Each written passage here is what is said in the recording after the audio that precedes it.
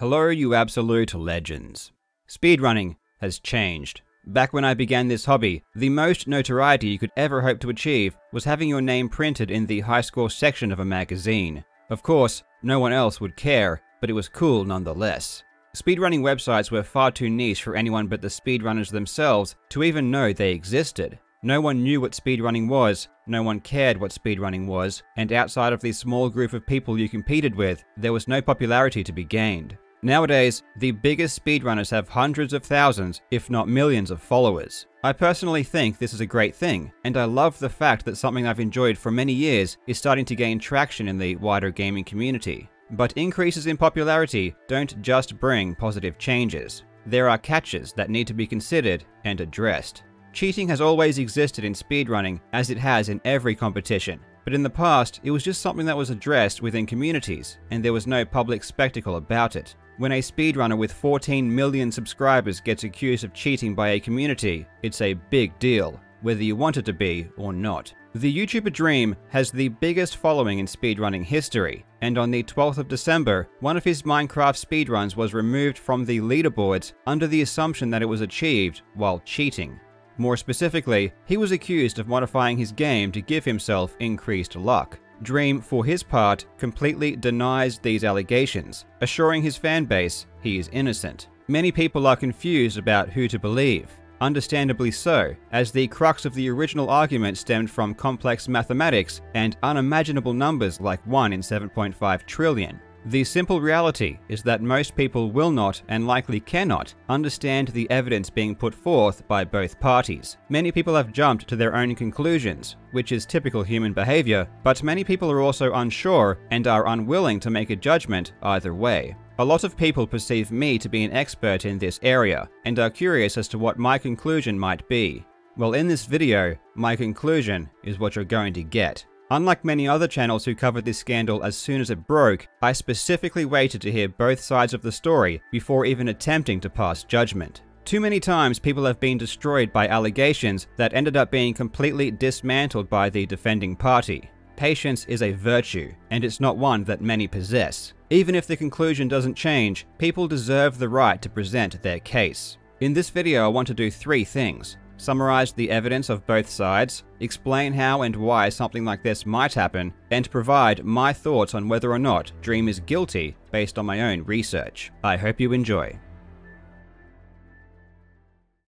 Now before we go on, if you look behind me, you'll notice I have some epic new posters, and they come courtesy of this video sponsor, Displate. Displate offers legendary metal posters that not only look awesome, but are also extremely easy to mount, requiring no tools and leaving no lasting marks. These artworks are created by really talented artists, and with 1.4 million artworks available, there are a ton of great options. With GoldenEye 007 being one of my favorite games ever, I got this amazing looking piece, and I'm also a huge Lord of the Rings fan, and I thought that this one looked absolutely fantastic. It really is beautiful. Another great thing about Displate is that they plant a tree for every Displate sold, which goes a long way to helping the environment. Now, Displate are launching a New Year's Eve sale where you can get up to 35% off.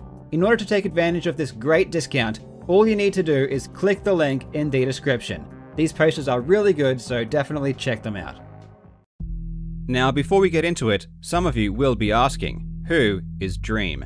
Dream is an extremely popular Minecraft YouTuber who exploded in popularity over the past two years, going from nothing in early 2019 to currently having around 15 million subscribers. Dream did not find success on YouTube through speedrunning, but instead created popular videos that were either funny or covering interesting topics, whether that would be explaining Minecraft mechanics or modding the game to create cool effects. By the end of 2019, he had already started amassing a huge audience, pulling in millions of views per month. But Dream didn't truly shine until 2020, where his channel exploded. Part of his success was due to a new series he started producing called Minecraft Manhunt. He marketed the videos with titles like Minecraft Speedrunner vs Assassin, and the premise is that he attempts to speedrun the game while being hunted by one or more human players. I think this type of marketing strategy is really good for speedrunning as a whole. As it's important to remind people that speedrunners are legitimately skilled at the games they choose to play, even outside of trying to beat games quickly.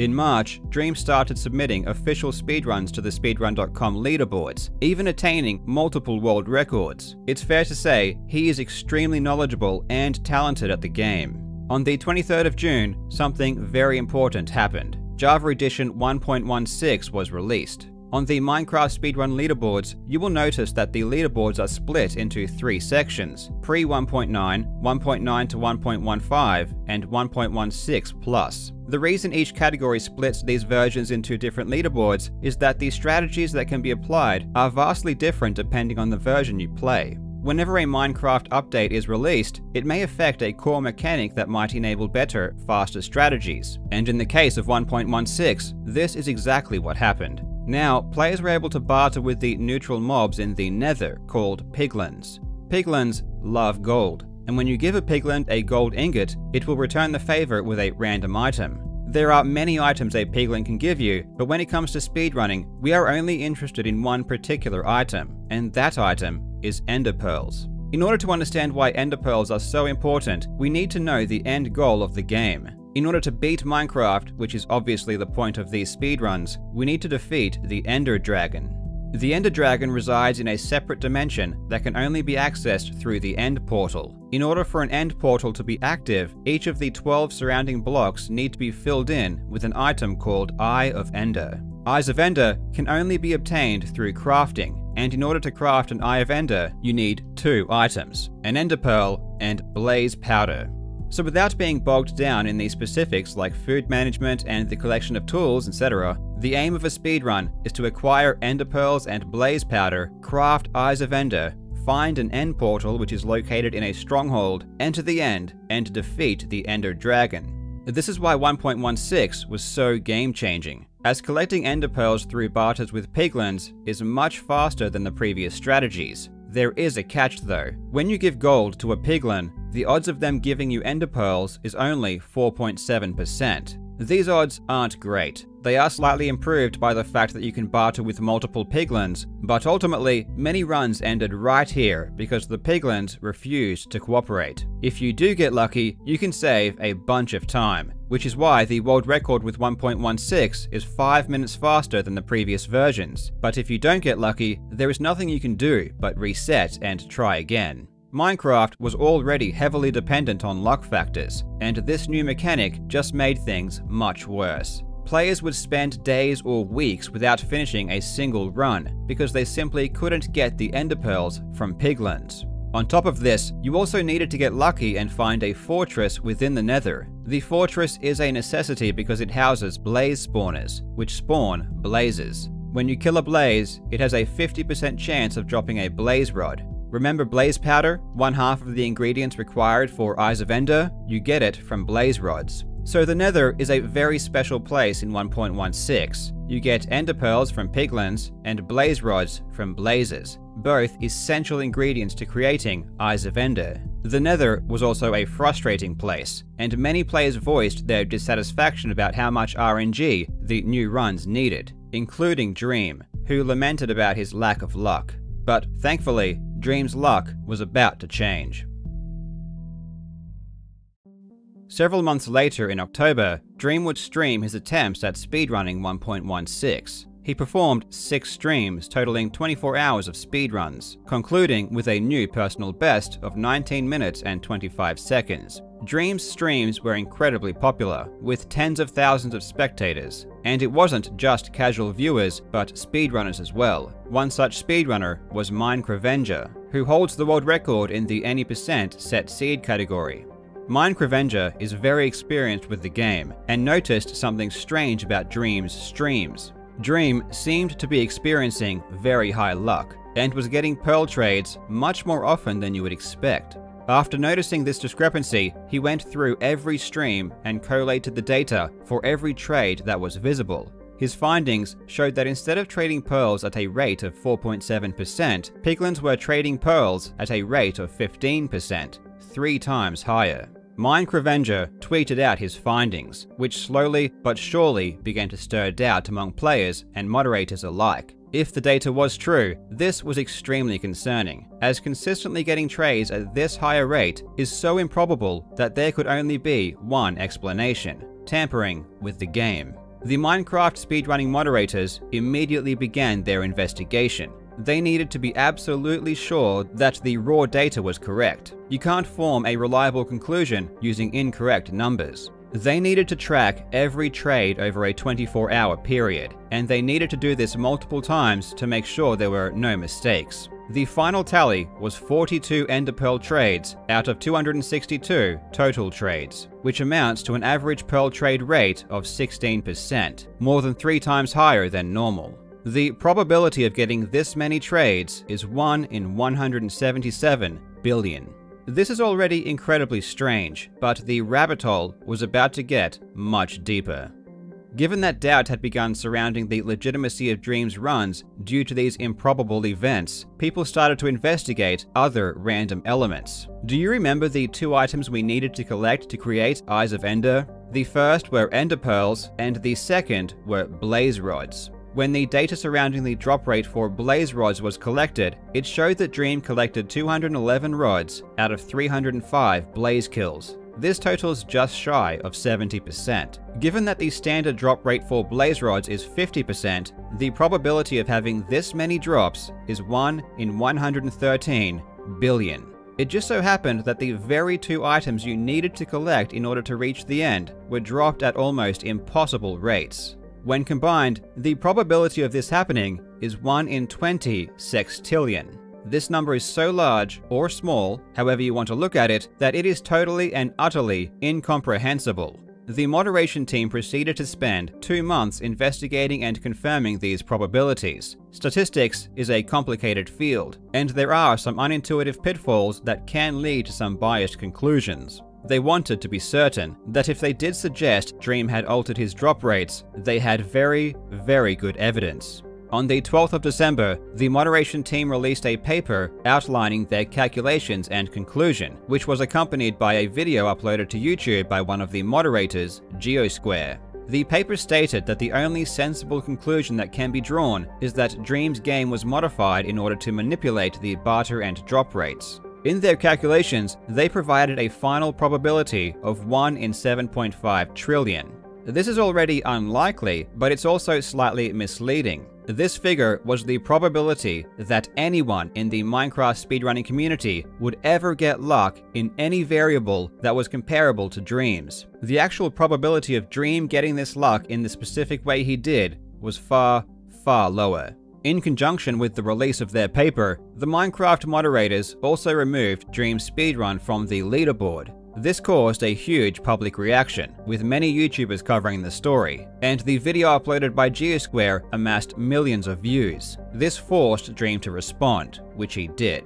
On the 23rd of December, Dream uploaded a response video, accompanied by a report written by an anonymous third party Dream had hired to review the moderator's findings. In the video, Dream claimed that the moderators were wrong, and that the actual odds were much lower. The figure provided in the document was 1 in 100 million. However, again, this wasn't the probability that Dream got this lucky, it was the probability that anyone got this lucky ever. But Dream's expert didn't just extend the scope to speedrunners, which is what the original paper did. This new report considers that if 100,000 people played Minecraft, there is a 1 in 100 million chance that a single person would ever get that luck.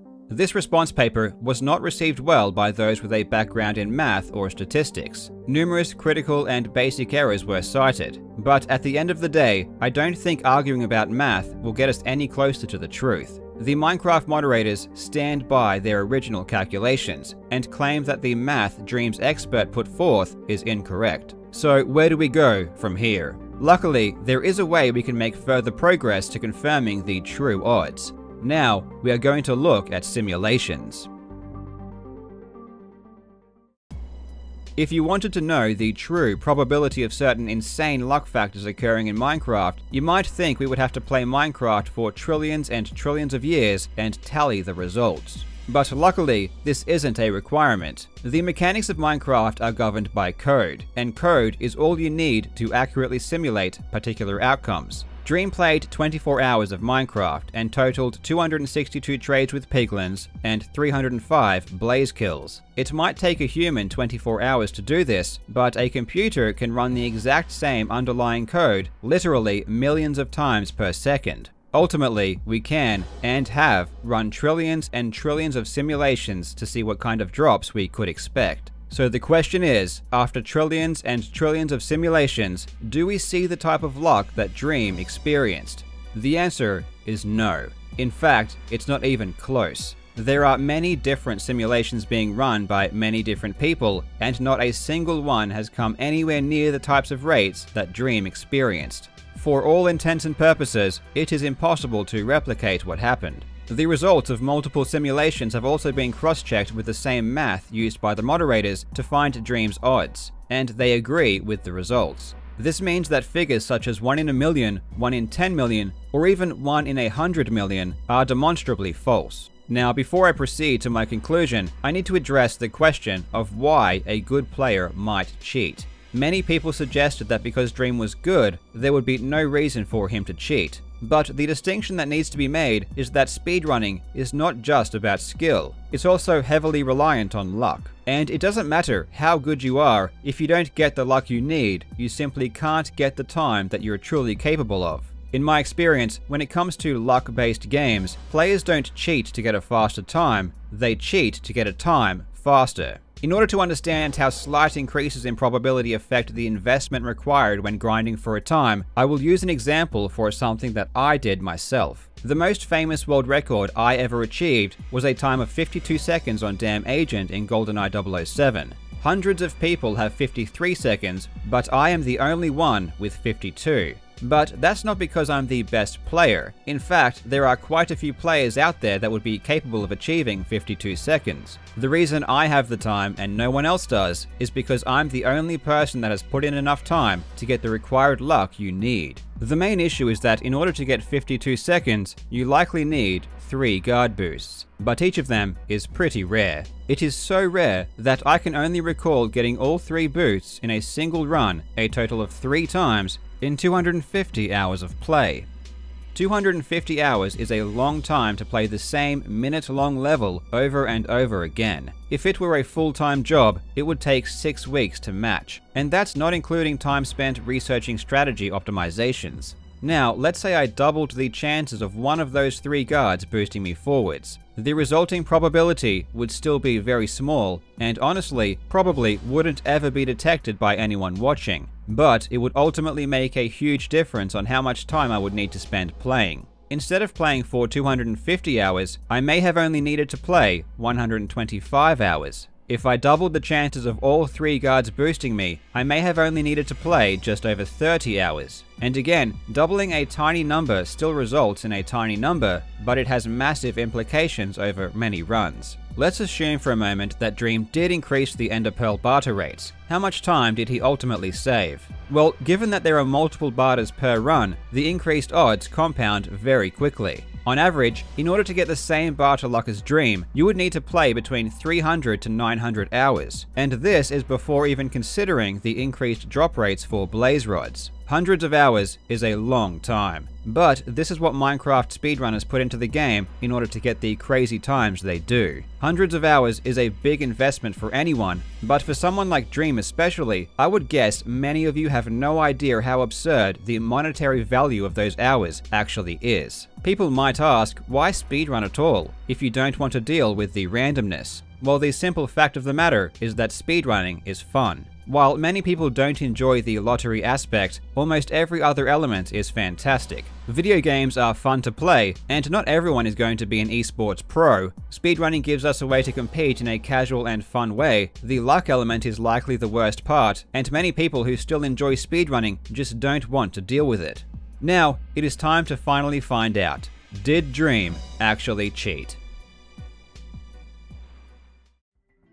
I have spent the last few weeks engrossed in this entire scandal. I have read the reports, conversed with experts, listened to the interviews, read the Reddit posts, and many people were sending me pieces of information because they knew I was going to make a video. Most of the issues people expressed to me, in my opinion, were distractions or based too heavily on emotions. I don't really care what people's opinions on Dream is. I'm not as concerned with questionable decisions Dream might have made, both in the past and in response to the cheating allegations. I also don't care to make people feel a certain way towards Dream after this video. Regardless of what I think, you should ultimately decide your own values and act accordingly. I wasn't a Dream fan, nor did I watch his content, but in my investigation, I watched a few of his videos and they were very entertaining. I completely understand why he is popular. And if anything, I see his success as an inspiration on what can be achieved. I also want to become more successful on YouTube, so it's a really good example of what's possible. But ultimately, all I can do is look at the facts. The Ender Pearl barter rates and Blaze Rod drop rates in Dream streams are for all intents and purposes mathematically impossible. Dream and his anonymous expert may beg to differ, but unfortunately, their conclusions do not match with the trillions and trillions of simulations that have already been performed. The math that the moderators put forth does match with these simulations, however, making them more credible. But aside from the raw math, the fact that Dream experienced these increased rates in the perfect way to benefit a speedrunner makes it even more damning. The very two items that were causing speedrunners so much frustration were the very same ones that were affected.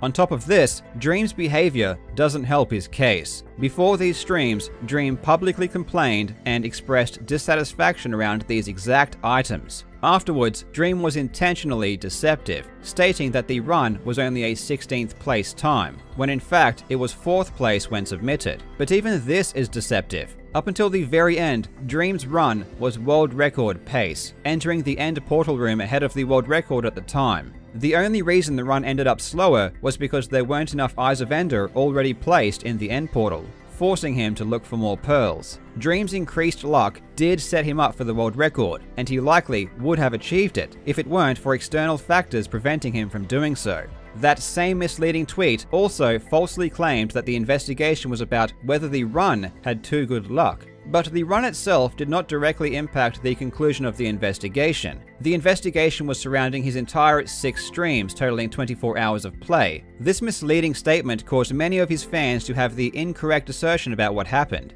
This deception can't be an accident, as Dream was exactly aware of what the investigation was about for two months. Lies and deception don't necessarily confirm someone cheated, but they do put into question everything they say after that point. If you publicly lie once, the next words that come out of your mouth shouldn't be trusted. Dream's response video was also misleading, but I don't automatically hold that against him. Everyone deserves the right to defend themselves, and the inaccuracies presented in the video may just simply come down to ignorance of the subject matter. Given all of the available facts, I believe the only reasonable conclusion is that Dream was playing on a version of Minecraft that had been altered in order to give himself an unfair advantage. The how and why are something that likely can never be answered definitively, unless Dream decides to share that himself. This is because there are multiple ways of achieving the same goal. In saying all of this, I am not ignorant to the fact that many people will ignore evidence and believe what they want to believe. And honestly, I don't really care about trying to persuade those people. I am mainly invested in the speedrunning community itself, and it seems to be fairly unanimous in the conclusion that Dream cheated.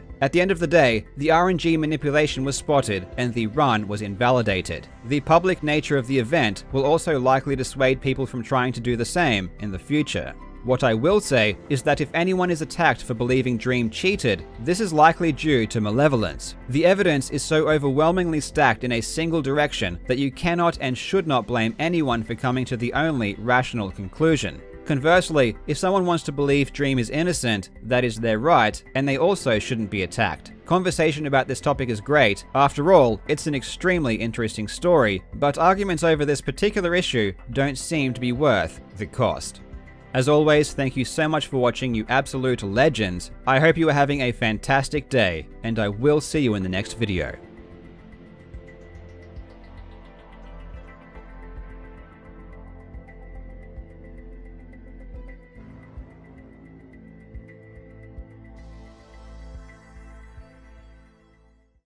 This is rigged against me and in my favor.